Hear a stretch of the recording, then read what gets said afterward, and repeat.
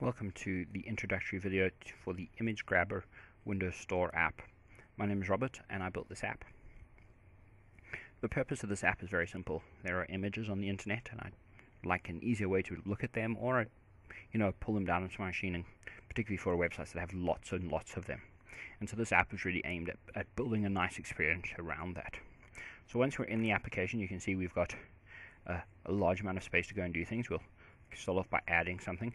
Um, and you can see we we have a variety of different things. We can go off and use specific APIs for specific websites like Tumblr or if it's a web page we'll just do some HTML scraping to try and pull the images out of that web page. So we'll say in here. We'll go and add that website. It'll now connect to it and this is a, a great website for images about um, server rooms and servers and hardware which is really all kind of cool stuff there. And so if we go and tap on it now, it's brought it down. Um, it will have all these awesome images available to us. And from here, we can actually go off, double tap on image to get a full screen view of it. At this point, it's not pulling any of the images down. It's actually um, only showing us the images as we need them. So you'll note there's a sometimes be a bit of lag between browsing through the images. But for the most part, it's fairly quick around that. What we could do now is maybe there's a couple we really like. So we'll be able to go through and select those and we could say to either cache them locally so the application will be able to load them faster next time or we could say you know these are really nice ones let's go download these and we'll go put these on my desktop. And so it will now go and queue off the downloads for that. We'd also have the ability if we unselect all of these to or rather to go in here and select all of them or if we just select one of them you'll see we have the ability to also take an image, use it as our lock screen image on Windows, or set it as a count or profile picture as well.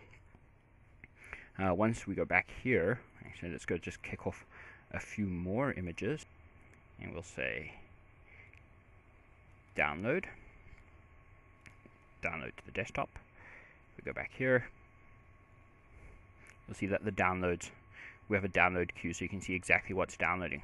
What is great with this is this uses the background download task, so even if the application is closed, it will continue these downloads in the background uh, without abusing CPU and RAM on the machine. Once we're done with that, uh, we could go in here, we could say, you know, refresh if it's something like this site that updates every couple of days, or we could go and pin this to our desktop, or create a, uh, or copy the URL out of this. We're also able to do all the sort of things you'd want from a Windows 8 application. So we can go in here and say share that. And we'll be able to share that off to say uh, the mail application.